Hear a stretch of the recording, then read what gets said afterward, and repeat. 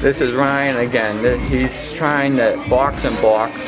This is his like third round and it's on a smaller bag. It's a totally different fight. We want to get his opinion on this here. All right, Ryan, whenever you're ready. All right. Once again, Ryan's going half pace with this. He, he has to get used to it. He just did two rounds on the bigger bag you see right on the left hand side. Uh, it takes a, a while for your instincts and reflexes to get used to it. So we're starting off half pace. You can see right now he's like almost staying in one spot and fighting. Once he starts getting warmed up, he's really gonna really start moving. Boxing Box makes you move more. Uh, thing is avoid it 100%. Uh, don't let it touch you. Uh, clean shots, hands in and out fast. Uh, he's finding angles. That might have just touched him.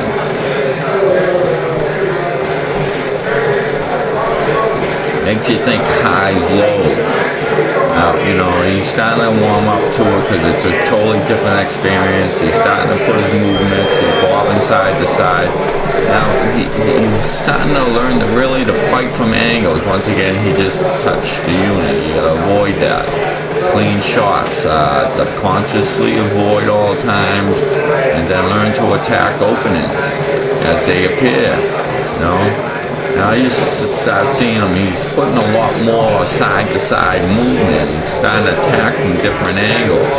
You know, I think around with that hook, he might have touched a little bit on the pipes.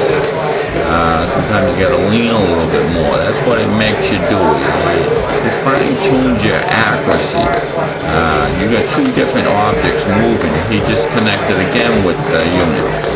You connected good with the bag, but his hand on the way out next to the unit. Uh, I see this stuff. He just bumped into the unit again with his hand. He held his hand high, that's good. But the whole thing is to totally be untouched, so it makes you have to move back. So he leaned into the unit again. We, gotta avoid that.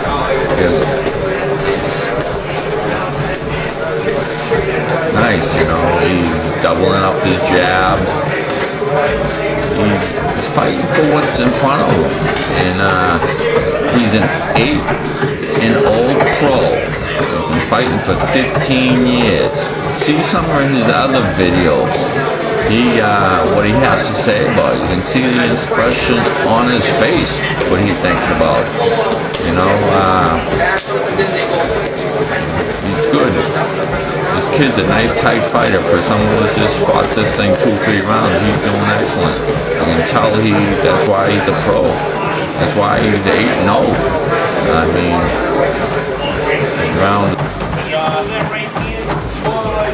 You gotta box this one because it's moving a lot more. It's moving a lot more, huh? So it's like a boxer you're chasing around, huh? So it's a lot different than the other one, huh? The other one's like you're fighting a brawl or something, and this guy here is uh, Gonna do another round for us?